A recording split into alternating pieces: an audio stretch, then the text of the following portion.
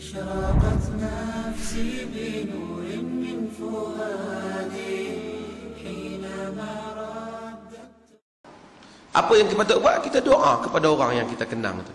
Allahumma ghafir lahu warhamhu. Minta Allah ampunkan dia. Dan Nabi suruh kita buat baik ha?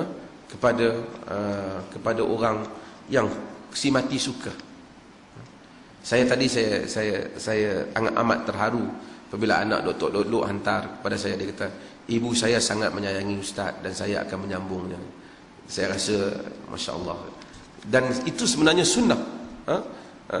Jadi kerana apabila kita suka pada satu orang, maka kita buat mak bapak kita suka, kita hubungkan hubungan baik. Kerana menghubungkan hubungan baik itu dapat pahala dan mudah-mudahan kerana bapak kita yang memulakan pahala itu, mudah-mudahan dia berterusan mendapat pahala menghubungkan hubungan baik itu.